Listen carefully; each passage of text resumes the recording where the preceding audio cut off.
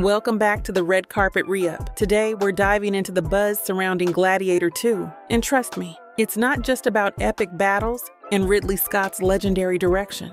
Denzel Washington recently revealed that a same sex kiss he performed in the movie was cut from the theatrical release. So, what's the story behind this decision? And how does it tie into the film's historical and cultural themes? Let's break it down. In an interview with Gayety, Denzel Washington shared a surprising detail about his role as Macrinus, a Roman power broker who keeps gladiators for sport. According to Washington, he kissed a male character full on the lips during a scene, only for it to be cut. He joked that the kiss, which he called the kiss of death, happens just moments before his character kills the other man. Classic gladiator energy, right? Now, Denzel isn't one to shy away from bold choices in his roles, so it's no surprise he embraced this moment. But what's interesting is that the scene was ultimately removed from the final cut, sparking questions about whether the filmmakers weren't ready for it yet. Denzel's performance as Macrinus isn't just a Hollywood invention, it's rooted in the complexities of Roman culture.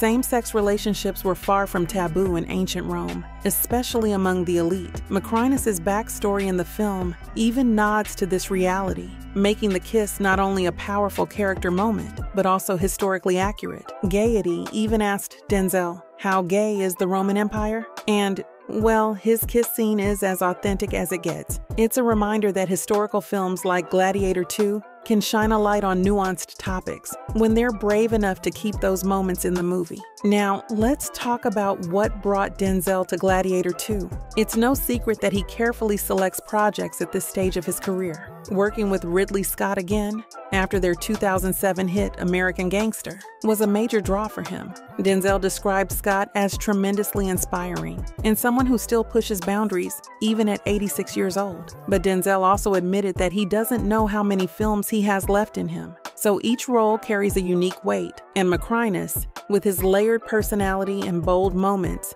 definitely fits that bill. Thanks for watching the Red Carpet Re-Up. Don't forget to like, subscribe, and hit that notification bell for more deep dives into the biggest stories in Hollywood. Until next time, stay cinematic.